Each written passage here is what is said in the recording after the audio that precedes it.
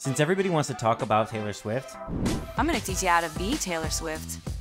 Or any celebrity because with one click, you're going to be able to swap your face with anybody. And you'll probably do it better with Taylor Swift than I am because I have a beard. I don't even know how it turned out, but I'm going to teach you how to do it under one minute and it's very easy.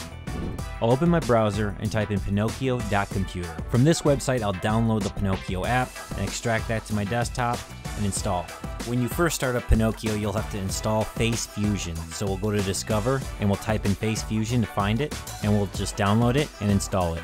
Then we can hit launch, and with this source box, we'll upload the photo that we choose. And on the bottom box, we're gonna choose our video or photo.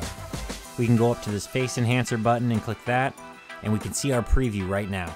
And then when we're happy, all we wanna do is click start, and this may take a few minutes depending on how large your video file is. And once that's done, you just click download and you've got your video. So now you can make your own celebrity porn yourself.